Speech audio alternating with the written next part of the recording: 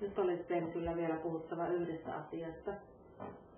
Ja se on se tilanne, kun lapset ja nuoret, kaikki joskus rikkoo sääntöjä, tekee väärin ja kun on rangaistuksen paikka. Eli aikuiset ajattelee, että nyt, nyt pitäisi rangaista.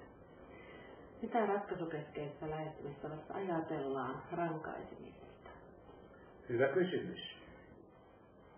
Nimittäin rankaiseminen on vähän hankala juttu. Ja sen tekee hankalaksi se, että, että joskus, ei varmaan aina, mutta kauan usein, lasten rankaiseminen pikemminkin pahentaa asiaa kuin parantaa asiaa.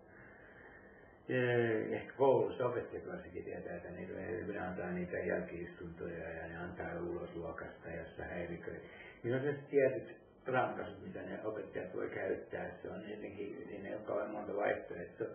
Ja sitten se on kauhean turhauttavaa, koska joko ne rankaisut ei toimi ollenkaan, tai pahimmassa tapauksessa ne vaan pahentaa sitä asiaa.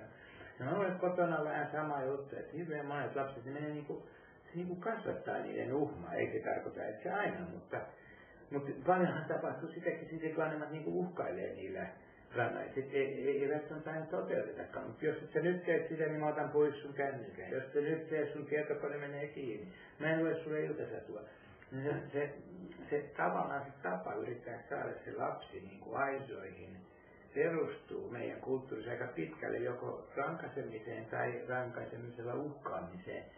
Ja se ei ole kyllä kaikkein paras tapa saada niin kuin lasta toimimaan toisin. Ja sen takia minä olen suositellut, ja mä tiedän, että monet muutkin suosittelee, toista toisenlaista tapaa, joka ei perustu rankaisemiselle, vaan se perustuu siihen, että lapsi saa ottaa ikään kuin teostaan vastuun. Ja tämä vastuun ottaminen on vähän tämmöinen, niin kuin, että siihen kuuluu useampia asioita. Mutta lyhyesti sanottuna se on sitä, että lapsen kanssa jutellaan siitä, mitä, tai nuoren kanssa, usein tämä koskee enemmän melkein nuoria, jutellaan siitä, mitä ne on tehnyt. Ja ne suostuu paremmin juttelemaan, kun ne tietää, että tästä ei seuraa rangaistusta, vaan tästä tarjotaan heille ikään kuin tilaisuutta sovittaa ja hyvittää se vääryys, minkä ne on tehnyt. Tavallaan niin kuin sen sijaan, että rankastaa, niin ne näki tänne sovituksen ja hyvityksen tielle. Keskustellaan siitä, mitä on tapahtunut.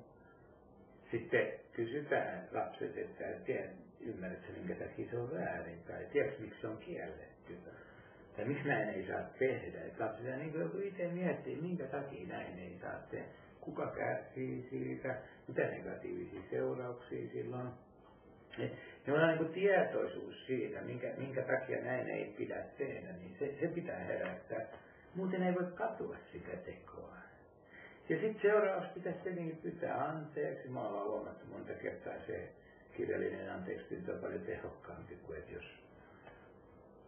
sorry, sorry, se riitä tämä on se kysymys, että usein vanhemmat miettii, että mikä on niin kuin semmoinen hyvä tapa pyytää anteeksi, minkä hyväksyä anteeksi pyynnöksi lapselta. Pitääkö katsoa silmiin ja pitääkö halata ja kirjallinen, onko tässä jotakin semmoista niin kuin käytännön, mitä sä oot kokemusta kuullut vanhemmit, mikä on, mitkä on hyviä tapoja pyytää anteeksi? Muksoppi-verkkosivulla on kyllä tämmöinen vastuunportaan sivusto, missä on semmoinen pieni tietokoneohjelma, mm-hmm. joka auttaa kirjoittaa anteeksipyyntökirjeitä. Jos se on pieni lapsi, niin varmaan tekee vain sen anteeksipyyntökortin, no. mutta isompi lapsi sitten voi kirjoittaa ihan kunnollisen anteeksipyyntökirjeen.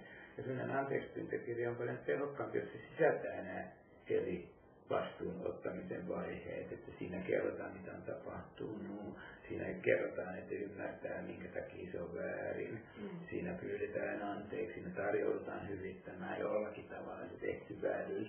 Ja ennen kaikkea siinä luvataan, että tämä ei tule toistumaan hyvittämisestä puhut, on, onko se minkälaista hyvittämistä, konkreettista jotakin, onko sinulla jotakin siitä esimerkkejä, mitä ideoita on syntynyt? Yleensä se anteeksi pyyntö, se jos vaan sanoo anteeksi nyt kauheasti ja sori vaan ja on pahoillani ja anna anteeksi.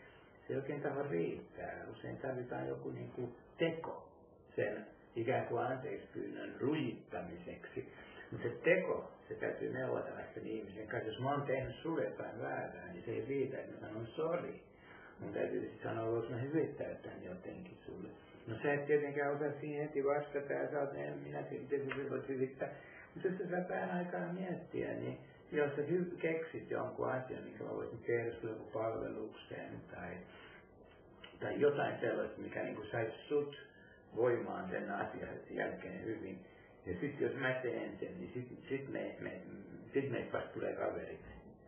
Ja mä että semmoinen niin kuin, tämän tyyppinen ajattelu, niin siinä tekee vääryyksiä, mutta, mutta meidän, meidän huomio tulee siihen, miten se vääryys korjataan. Siis tuota vääryyden tekemisen oikea oppinen tai hyvältä tuntuva korjaaminen, sitä me haetaan.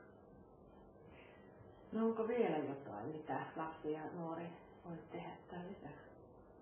No yksi asia on, jos, jos, jos ihminen ottaa vastuun teosta, hän pyytää anteeksi, hän sovittaa, hän lupaa, että hän se toista kertaa vasta, vaan opettelee niitä taitoja, mitä täytyy opetella, ettei se pääse toistumaan, niin on olemassa vielä yksi asia, minkä voi usein tehdä, ja se on se, että voisi vähän kantaa kortta kekoon ja pitää huolta siitä, että muutkaan ei